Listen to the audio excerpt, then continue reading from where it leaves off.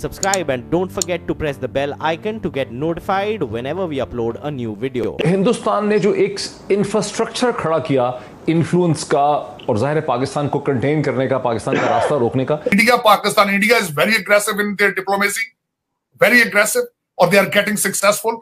Pakistan America distance पे चले जाएँगे और खासकर ये जो ब्लिंकन साहब ने कहा है अ, कि हमारा, हमारे साथ तावन भी करते रहे और हमारे खिलाफ भी काम करता रहे पाकिस्तान भारत के कहने पर ही अमेरिका ने पाकिस्तान पर एक और एक्शन लिया है।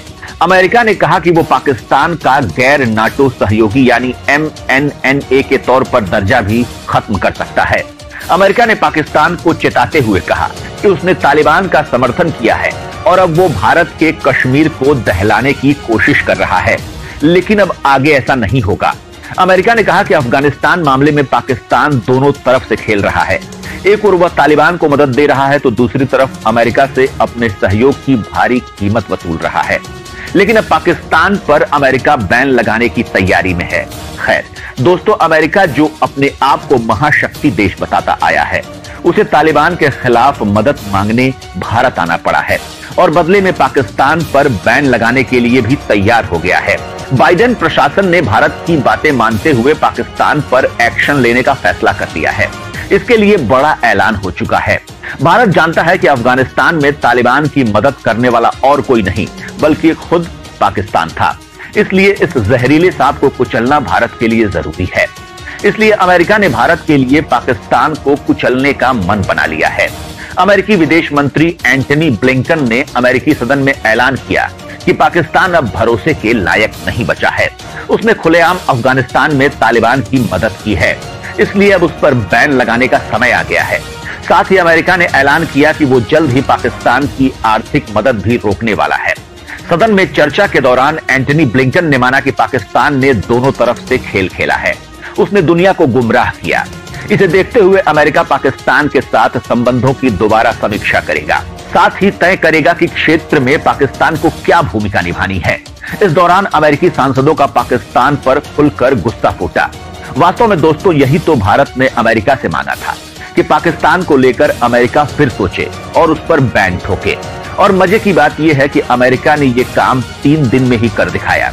अब अमेरिका के इस ऐलान से ही पाकिस्तान हुकूमत में हड़कंप मचा हुआ है। कुछ ही दिन पहले जब अफ़गानिस्तान में तालिबान के कब्जे से पहले अशांति शुरू हो गई थी, उसके बाद भारत अफ़गानिस्तान शांति प्रक्रिया में शामिल होने और अहम भूमिका निभाने में आगे आया।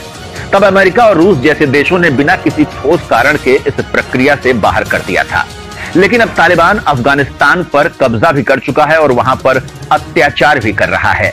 इसलिए अमेरिका अब अफ़गानिस्तान में की गई अपनी भूल के कारण बदनामी से बचना चाहता है। इसलिए उसे भारत याद आया। रशिया के साथ अपने रवाबत बढ़ा रहे हैं। ऑस्ट्रेलिया के साथ टू एंड टू उनकी जो मीटिंग हुई, उसके साथ उनके डिफेंस मिनिस्टर और जयशंकर साहब की। उसके बाद उसमें ये देखें कि ब्रिक्स के, ब्रिक्स में मोदी साहब बोले, और वो मेरा मकसद the way they are making their new relationship and nexuses उसमें वर्सेस आप कहाँ हैं? हर बंदा यहाँ पे नारे बड़े लगाए गए कि अगले दिन आपने चार लोगों की बैठ के, जो उनके इंटेलिजेंस के हेड है, उनकी बैठक कराई बैठक कराई। मैं उस बैठक के बारे में बताना चाहता हूँ कि हर बंदा जो है इंडिया से होके वापसी पे रुका है आपके पास। ये सारी चीज़ें दुनिया देख रही है। आप अपनी दुनिया में जग हसाई करा रहे हैं। इससे अलावा कुछ भी नहीं। शर्मिंदगी और करा रहे हैं आप। पहले ही पाकिस्तान की कोई रिस्पेक्ट नहीं है। पाकिस्तानी पासपोर्ट आप दिखाएँ, आपको लाइनों से निकाल लिया जाता है, आपको बाहर खड़ा कर देते हैं। और इस, उसको मजीद करेंगे। आप खुद अपने आप को पत्थर के जमाने के लोग बनाना चाहते हैं, बनाए आप। फिर जनरल असेंबली का इजलास आ रहा है चौबीस को। उसके बाद साथ ही आगे क्या आएगा कि क्वाड की मीटिंग हो रही है यहाँ पे। और उसके बाद साथ ही क्या होगा? जी ट्वेंटी की मीटिंग होगी। और उसके बारे में भी मैं खैर मजीद चीज़ें बताना चाहूँगा कि मेरा अपना personal opinion India Pakistan India is very aggressive in their diplomacy very aggressive और दे आर गेटिंग सक्सेसफुल वो अपने वो अपने they are making their spaces and places और इसमें हम पाकिस्तानी कहा सेक्रेटरी ब्लिंकन के बारे में बात की। तो जो पाकिस्तान के बारे में जो बात हुई जरा उस पर भी कमेंट करें और पाकिस्तानी मीडिया जो है, वो उसको जैसे कह हैं आधी तस्वीर चला रहा है, आधी तस्वीर नहीं चला रहा। यहाँ पे ये तो चला रहे हैं कि वो उन्होंने कहा जी कि पाकिस्तान ने कोऑपरेट हमारे साथ बहुत किया, लेकिन अमरीकियों को परेशानी भी है। एक लफ्ज उन्होंने कहा है, उन्होंने कहा जी, हम रीअसेस कर रहे हैं। तो नौ महीने हो गए रीअसेस कर रहे हैं। हर सदर जो है वो एक डेढ़ साल तो रीअसेस में लगा देता है। इट मींस कि पाकिस्तान के बारे में उनकी पॉलिसी नहीं है। ट्रंप भी एक साल इसी तरह गुजार गए, ये भी इसी तरह गुजार गए। तो ये ऐसा क्या है? आप क्या देख रहे हैं? आइंदा आने वाले दिनों में पाकिस्तान अमेरिका डिस्टेंस पे चले जाएँगे। या क्या आप समझते हैं क्योंकि मिनिमम कोऑपरेशन जो है वो रहेगा।